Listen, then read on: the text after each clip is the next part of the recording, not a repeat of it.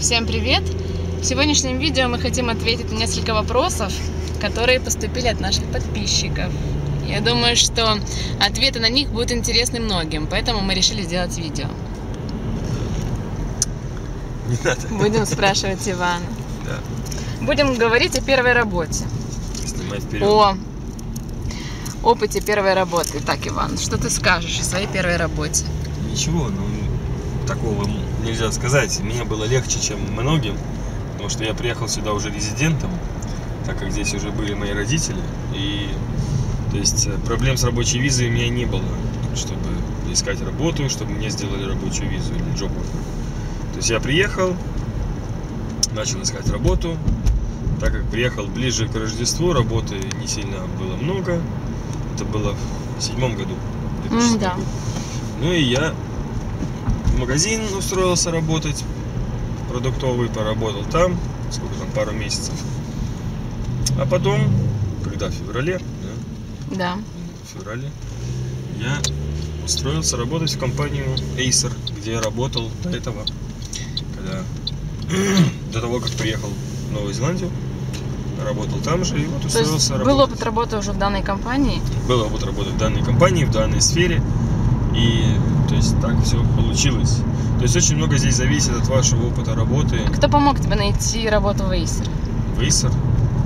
Да я не помню уже. Это был, э, была компания, по-моему, А, которая... была компания по трудоустройству Queen Workforce, но они больше занимались чернорабочими. Но я когда туда обратился по другим вакансиям, он мне сказал, что он знает менеджера из этой компании, из компании Acer. Он увидел меня в CV, что я в Acer работал. Ну и Хотя я в Acer тоже относил свое CV до этого сам.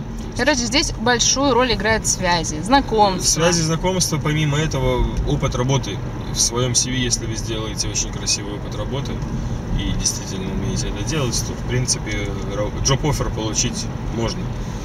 То есть, Если вы классный специалист в своей, в своем, боже мой, в своем деле, да, то есть шансы большие. необходимо, да, востребованную профессию здесь.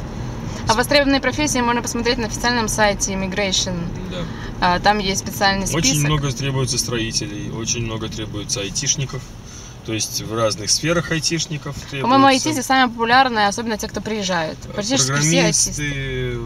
аналисты и так, и так далее, всякие разные.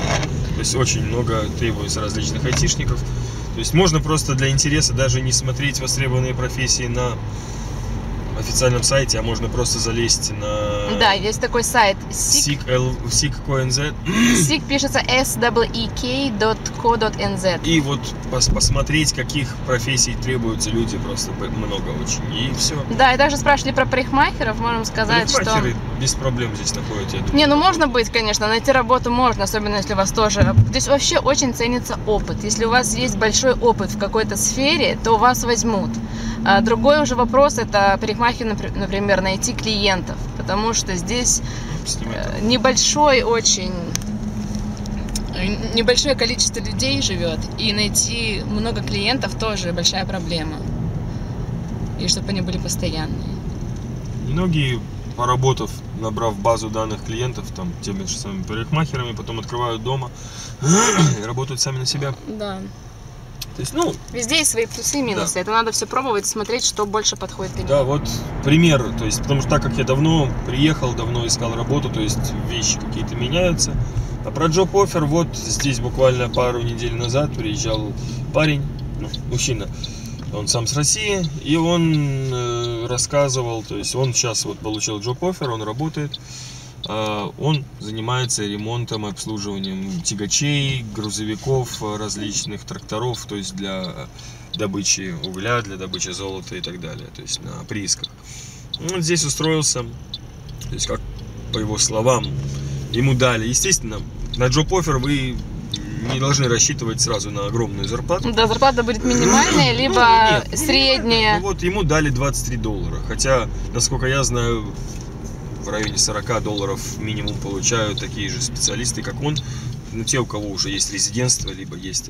Ну, То есть естественно... надо всегда с чего-то начинать. Да, да. И То есть поэтому это начало, и компания, естественно, за то, что она ему сделала джоп-оффер, она, ему, она его использует, так скажем. Ну, Поэтому, если это- есть какие-то предложения, то всегда нужно на них соглашаться. Потому Надо что смотреть, здесь да. очень важен опыт. Даже важен, многие люди работают бесплатно волонтерами только ради опыта.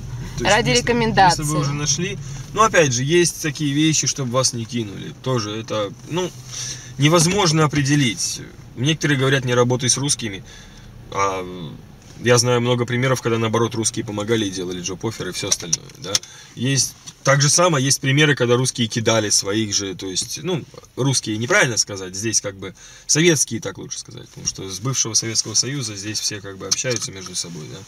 И смысл в том, что, ну, невозможно сказать на 100% ничего. Нужно стремиться искать.